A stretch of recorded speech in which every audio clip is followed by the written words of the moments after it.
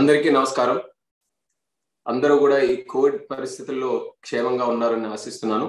మరి ముఖ్యంగా ఈ రోజు ప్రెస్ మీట్ పెట్టి మాట్లాడాల్సినటువంటి అంశం కూడా రాష్ట్రానికి ఎంతో ముఖ్యమైనటువంటి అంశం ఇది.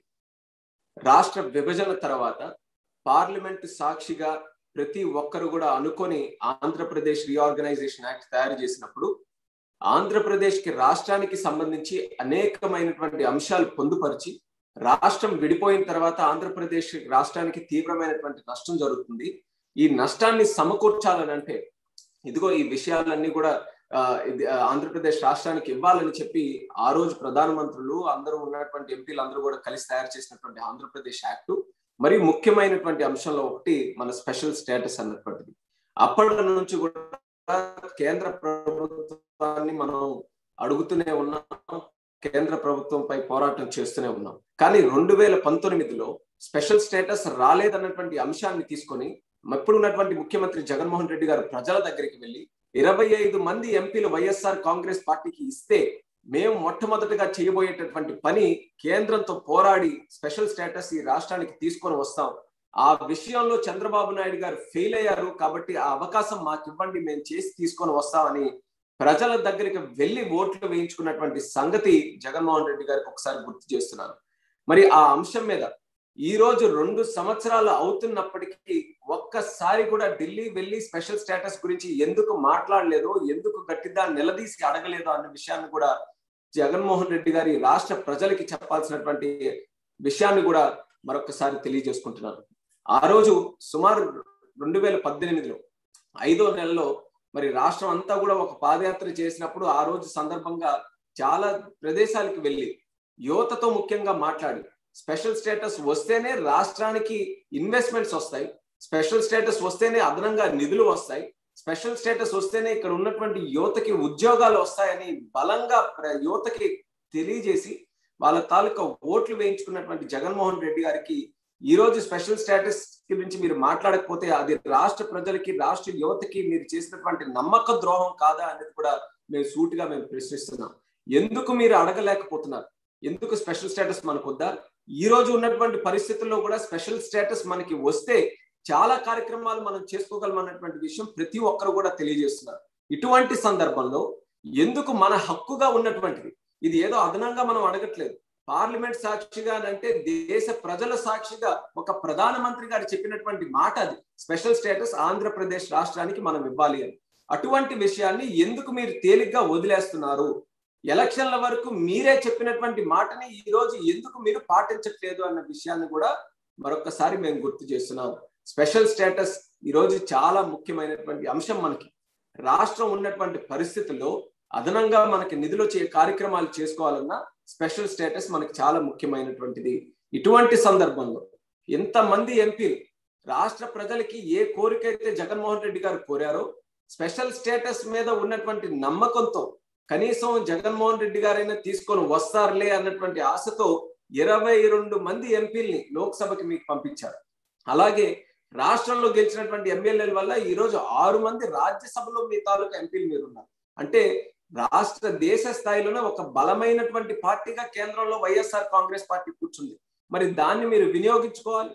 ఆ ఉన్నటువంటి బలాన్ని రాష్ట్రం కోసం మీరు ఎప్పటికప్పుడు గట్టిగా మాట్లాడి రాష్ట్రానికి నిధులు తీసుకొని రావడానికి మీరు వినియోగించుకోవాలి. కానీ ఏ ఒక్క ఎంపీ కూడా ఎప్పుడైనా సరే కేంద్రం మీద గట్టిగా నిలదీసి అడిగినటువంటి దాఖలాలు లేవన్నది కూడా ఈ రోజు మనం అందరం కూడా తెలుసుకోవాల్సినటువంటి అంశం. అంటే దీని అంతటికీ కూడా కారణం రెండు విషయాలు మనం గుర్తుంచుకోవాలి. ఒకటి జగన్మోహన్ రెడ్డి గారు ప్రత్యేక హోదా ఆ రోజు కేవలం ఓట్లు దండుకోవడానికి ప్రజల్ని మోసం చేయడానికి వినియోగించుకున్నారు తప్ప ఆయనకి చిత్తశుద్ధి లేదన్నటువంటి విషయాన్ని మనం తెలుసుకోవాల్సినటువంటి అవసరం ఉంది. అలాగే రెండొకటి ఎక్కడైతే కంగారు పడి స్పెషల్ స్టేటస్ గురించి కానీ రాష్ట్రం తాలూకు అంశాల గురించి ఆయన ఎప్పుడు అడిగినా సరే ఆయన మీద ఉన్నటువంటి సిబిఐ కేసులు ఈడీ కేసులు ఎక్కడ ఉసురు బిగించుకొని ఆయనకి మళ్ళీ జైలుకి పంపిస్తాయన్నటువంటి ఆలోచన ఆయనకు ఉంది కాబట్టి ఈ రోజు గట్టిగా నిలదీసి అడగలేకపోతున్నారన్నటువంటి అంశం కూడా మనం ఖచ్చితంగా ఈ సందర్భంగా తెలుసుకోవచ్చు. లేకపోతే ఇంత బలం ఉన్నటువంటి ఏ ముఖ్యమంత్రి అయినా సరే కేంద్రాన్ని నిలదీసేటటువంటి అవకాశం వదులుకోరు. ఈ రోజు తమిళనాడు లాంటి రాష్ట్రం కేరళ లాంటి రాష్ట్రం వెస్ట్ బెంగాల్ లాంటి రాష్ట్రం పోరాడుతున్నాయి. ఆ రాష్ట్రాల కోసం ఆ రాష్ట్రంలో ఉన్నటువంటి సమస్యల కోసం అటువంటిది ఈరోజు మనకి పార్లమెంట్ వేదిక ఇచ్చినటువంటి హామీ అది. దాని గురించి మనం ఈ రోజు మాట్లాడలేకపోతున్నాం అంటే జగన్మోహన్ రెడ్డి గారికి అసలు చిత్తశుద్ధి లేదన్నటువంటి విషయాన్ని కూడా మనం తెలుసుకోవాలి. కేవలం స్పెషల్ స్టేటస్ అనే కాదు. ఈరోజు జగన్మోహన్ రెడ్డి గారు చెప్పుకుంటున్నారు వ్యాక్సిన్లు మోదీ గారు ఇస్తున్నారని అంటే అది నా తాలూకా ప్రమేయమే నేను లేఖలందరికీ రాసి నేను ఒత్తిడి తీసుకొని వచ్చానని. మరి జగన్మోహన్ రెడ్డి గారికి నేను సూటిగా అడుగుతున్నాను మీకు అంత ఒత్తిడి తీసుకొని వచ్చేటటువంటి బలమే మీకు ఉంటే మీకు అంత లాబింగ్ చేసేటటువంటి శక్తే మీకుంటే ఎందుకు అది స్పెషల్ స్టేటస్ గురించి మీరు వినియోగించుకోవట్లేదు? వ్యాక్సిన్ల కోసం ఏ రకంగా మీరు చేశారని చెప్పి పబ్లిసిటీ ఇప్పించుకుంటున్నారో స్పెషల్ స్టేటస్ గురించి ఆ రకంగా మీరు పోరాడండి. లేకపోతే ఈ రోజు పోలవరం ప్రాజెక్టు గురించి మీరు పోరాడండి. రాష్ట్రానికి ముఖ్యంగా ఉత్తరాంధ్ర ప్రాంతానికి కావాల్సినటువంటి రైల్వే జోన్ గురించి మీరు పోరాడండి. బ్యాక్వర్డ్ నిధులు ఉన్న ఈ రోజు ఏడు డిస్ట్రిక్ట్స్కి సెవెన్ డిస్ట్రిక్ట్స్కి ఈ రోజు బ్యాక్వర్డ్ నిధుల కోసం ఎదురు చూస్తున్నాయి. యాభై కోట్లు ఒక్కొక్క సంవత్సరానికి రావాల్సినటువంటి నిధులు అవి. అవి కూడా రాకుండా కేంద్రం ఆలస్యం చేస్తుంది. మరి దాని గురించి మీరు ఎందుకు ఈ రోజు పోరాటం చేయలేకపోతున్నారు? అది చేసి మీరు పబ్లిసిటీ ఇచ్చుకోండి మా బలం ఎంత అని. మరి ఏది లేకుండా ఏదో జరిగినటువంటి విషయాలకి క్రెడిట్ తీసుకొని ఈ రోజు చేస్తే రాష్ట్ర ప్రజలు ఈ రోజు చూస్తూ ఊరుకోవడానికి లేరు అన్న విషయాన్ని కూడా వైఎస్ఆర్ కాంగ్రెస్ పార్టీ వాళ్ళకి ముఖ్యంగా జగన్మోహన్ రెడ్డి గారికి తెలియజేస్తున్నాం.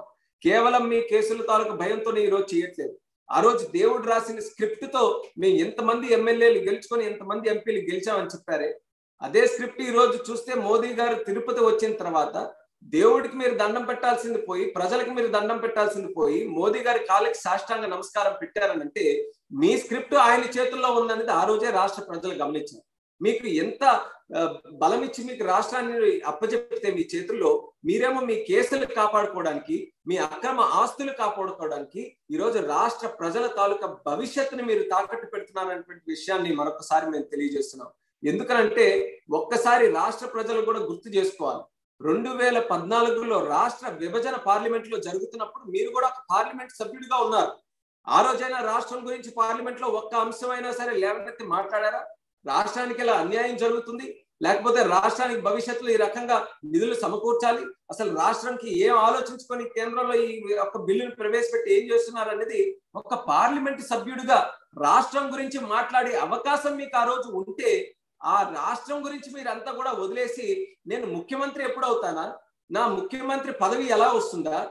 నా కేసులు ఎలా పెట్టుకోవాలి? నా ఆస్తులు ఎలా నేను కాపాడుకోవాలన్న ఆలోచన రెండు వేల పద్నాలుగులో మీరు పెట్టుకొని రాష్ట్రాన్ని ఆ రోజే మీకు గాలి వదిలేశారు మరి అటువంటిది ఈ రోజు మళ్ళీ రాష్ట్ర ప్రజల దగ్గరికి రెండు వేల పంతొమ్మిదిలో వచ్చి మళ్ళీ నేను ఏదో సాధిస్తానని చెప్పి మళ్ళీ ప్రజల దగ్గర చేసుకున్న తర్వాత ప్రజలు మిమ్మల్ని నమ్మి ఓట్లేస్తే మళ్ళీ అదే పరిస్థితి తీసుకొని వచ్చారు. రెండు సంవత్సరాల్లో రాష్ట్రాన్ని మళ్ళీ గాలికి వదిలేశారు రాష్ట్రం తాలూకు ఇష్యూస్ ఎక్కడా పట్టించుకోకుండా ఢిల్లీ కేవలం మీ తాలూకా కేసులు రాయబారాల కోసం మీరు ప్రైవేట్ ఫ్లైట్లు వేసుకొని అక్కడికి వెళ్ళడం ప్రెస్ మీట్లు ఏవి పెట్టకుండా రహస్యంగా మీరు చేస్తున్నటువంటి కార్యక్రమాలన్నీ కూడా చేసుకొని రావడం అదే సమయంలో ఏదైనా జరిగి ఉంటే మాత్రం దానికి నేనే చేశానని క్రెడిట్ తీసుకోవడం తప్పితే ఈ రోజు మనం చేసుకోవాల్సినటువంటి కార్యక్రమాలు ఎన్ని ఉంటే ఒక్కటి కూడా ఎందుకు మీరు మాట్లాడట్లేదు? అలాగే మనకున్నటువంటి పోర్టు విషయం కానీ మరి ముఖ్యంగా విశాఖపట్నం గురించి మాట్లాడాలనంటే ఈ రోజు అదనంగా ఇంకో సమస్య వచ్చి పడింది మన నెత్తి మీద. ఈ రోజు విశాఖపట్నం స్టీల్ ప్లాంట్ మరి ప్రైవేటీకరణ చేస్తారనంటే దాంట్లో కూడా భూ మాఫియా కోసం మీరు లాలోచి పడి అందులో కూడా ఏ రకంగా లబ్ధి పొందుదాం అన్నటువంటి ఆలోచనతో మీరు ముందుకెళ్తున్నారే. తప్పితే ఈ రోజు ఆ విశాఖపట్నం స్టీల్ ప్లాంట్ ప్రైవేటైజేషన్ కేంద్రాన్ని ఎదురొడ్డి ఏ రకంగా మనం కాపాడుతాం అన్నటువంటి ఆలోచన ఒక్క ఎంపీ కానీ ఈ రోజు జగన్మోహన్ రెడ్డి గారికి ఉందా అనేది నేను ప్రశ్నిస్తున్నాను. అది ఉంటే ఏ రకంగా మీరు సాధన కోసం ఈ రోజు పోరాటం చేసుండేవారు ఏ రకంగా కేంద్రం మీద ఒత్తిడి తీసుకొని వచ్చిండేవాళ్ళు? అటువంటిది ఒక్క కార్యక్రమం కూడా కనబడట్లేదే.